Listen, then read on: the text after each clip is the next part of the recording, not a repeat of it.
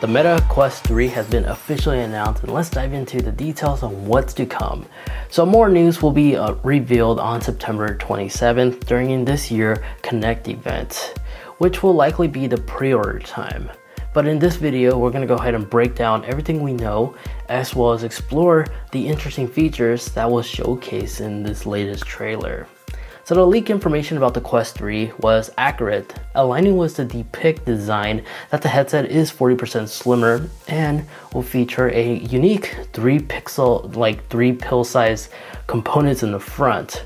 But a particular interest are the controllers, which lack the cameras like the Quest Pro does, but offers a true haptic feedback similar to the Quest Pro controllers. While it's not a massive groundbreaking technology for tracking, like the Sony PSVR 2 controllers, they do provide a precision in tracking, allegedly, and the capability to predict even the smallest subtle movements, which will be definitely interesting to see how these controllers track without a camera. It's reasonable to assume that the Quest Pro controllers will also be compatible with the Quest 3, as they'll serve an amazing alternative if you need tracking capability with a camera. Now, the Quest 3 has obviously went undergone a complete redesign and reimagined look than ever before, resulting in a 40% slimmer profile. Notably, the facial interface is completely removable, very similar to the Quest 2. Initially, concern arose regarding about the strap removal capabilities, but the design of the edges suggests that it can be detached. However, this means it won't be compatible with the Quest 2 straps due to the power connector as presented. Internally, the headset will feature a fabric-like material, though specifications remain unclear, and an interesting observation is the movement of the lens. Although the video doesn't show the knob responsible for it, but based off the visual roll knob on the bottom right here on this video, it's safe to assume that the lens are indeed adjustable with a manual scroll wheel, even though it hasn't been explicitly mentioned.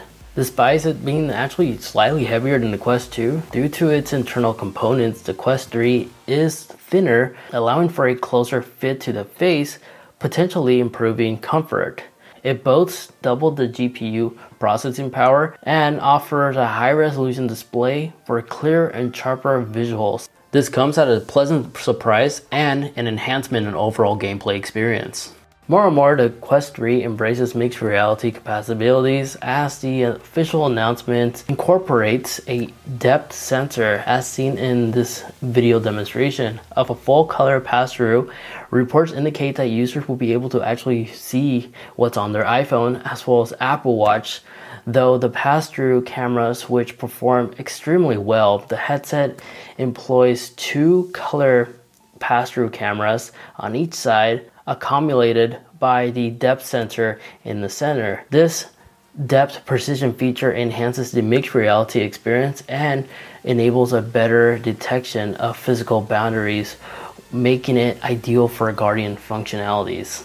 The Quest 3 aims to transform your home into a virtual playground, offering controllers with true haptic touch for a full immersion experience that engages your sensors. However, it's remained to be seen how these controllers will track without the dedicated ring.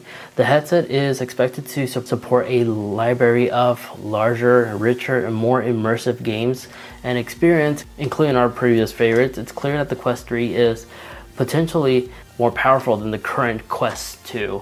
Now, we do have two important updates regarding around the current Quest 2 as well as the Quest Pro.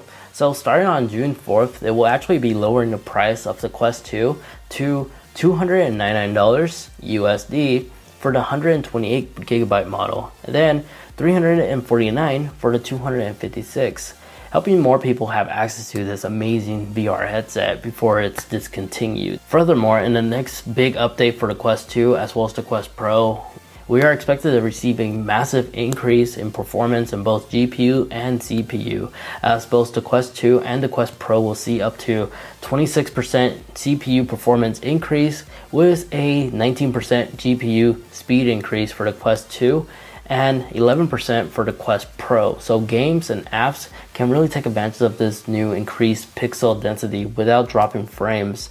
As developers have taken advantage of these changes, people can expect a smoother gameplay, a more responsive UI, and a richer contrast in both headsets.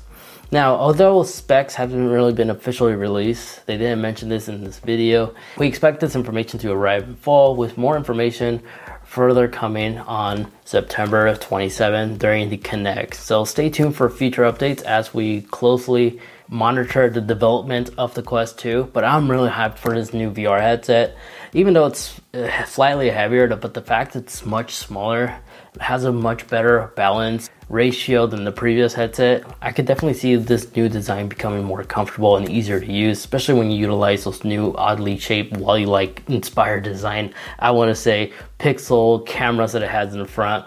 If it does a real good job in terms of in-depth field of view and stuff like that this headset is definitely will definitely be revolutionary. I'm definitely looking forward to it.